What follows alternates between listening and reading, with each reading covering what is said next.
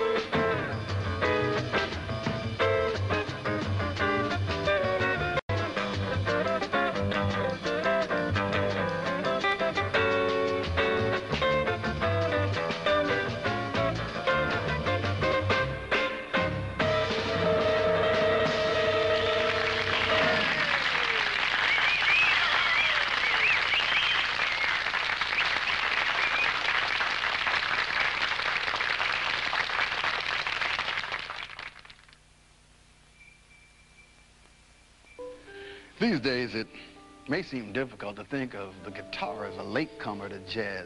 The fact is, though, that before the appearance of Charlie Christian during the late 1930s, the guitar was restricted almost entirely to playing a role in the rhythm section of a band. When a guitarist played a solo, it was usually consisting of just chords instead of the improvisations on the single strings that today make it an important jazz voice. The reason for this is pretty simple. It couldn't be heard in a decent-sized ballroom or nightclub where a whole lot of off-stage noises would carry above the music. So Charlie Christian put electronics to work for him. He amplified his instrument. Now, not only did this solve the problem of audibility, he was also able to hold notes like a horn. And Charlie Christian was the first jazz guitarist to play as if he were a saxophone or a, or a trumpet. Electronics gave him great flexibility in musical thought and in action. Barney Kessel was a student at Oklahoma State University during the years when Charlie Christian was making jazz history. They were, in fact, fast friends. Whenever opportunities swung, they'd get together for a jam session in the college playhouse till the Oklahoma dawn.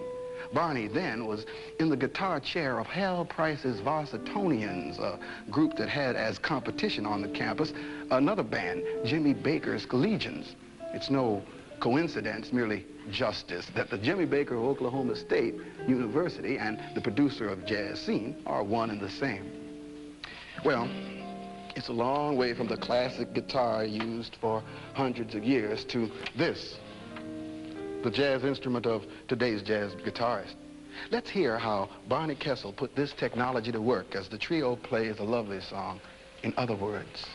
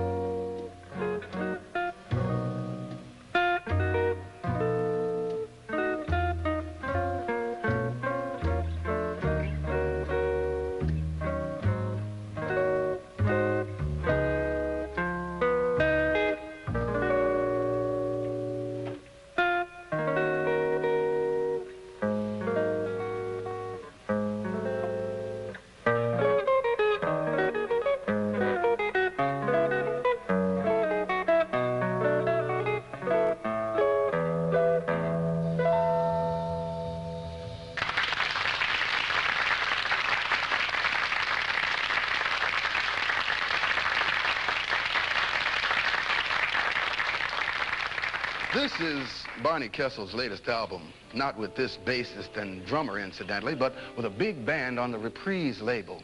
But speaking of this bassist and drummer, that's Buddy Woodson. And over here is Stan Levey. Now, before with, we chat with Barney on the modern function of a jazz guitarist, it's April in Paris.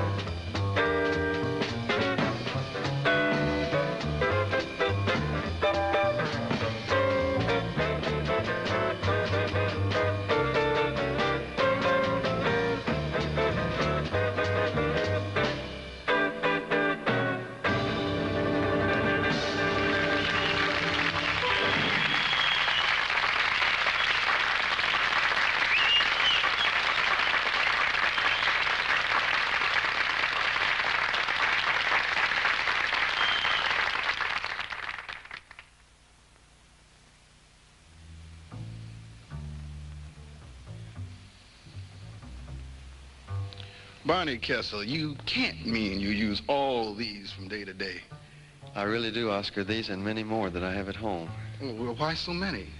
Well, I'll tell you, I do a lot of work here in Hollywood in uh, various contexts, uh, motion picture backgrounds, television, film, live television, Mm-hmm. commercial recordings.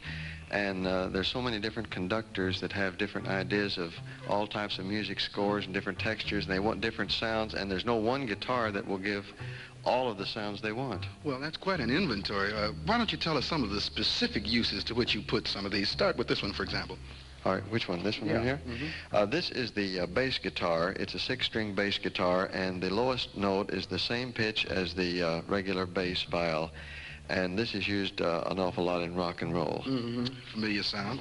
How about this, this, one? happens to be one put out by the Gibson Guitar Company that uh, is a Barney Kessel model, and I use this in most of my commercial work to handle sort of what you call the middle of the road jobs. It takes care of most of the situations for electric guitar. Real workhorse. How about this one? This is a guitar that I've devised that has a special tuning that, uh, when played, gives a combination of a guitar and banjo sound, and I use it a lot in uh, folk songs. Mm-hmm. And over here, well, this I know. Well, you know this, Oscar. This is a, a banjo, and I use this in many film scores. Uh, although I'm not principally a banjo player, uh, this does fill the need many times in the orchestra. I play rhythm sort of camouflaged, and it sounds good. Well, Barney, thanks very much for a most interesting demonstration, and thanks for joining us on the jazz scene. What are you going to play for us next? Well, Oscar, I'd like to do a guitar solo, if I may. This is a number that is known all over the world and is seems to be equally popular by two different names. This is Londonderry Air or Danny Boy. Oh, go to it. Beautiful. Here's Barney Kessel's very sensitive rendition of one of the world's most beautiful pieces of music, the wonderful tune, which, as Barney pointed out, has two names, the Londonderry Air or Danny Boy.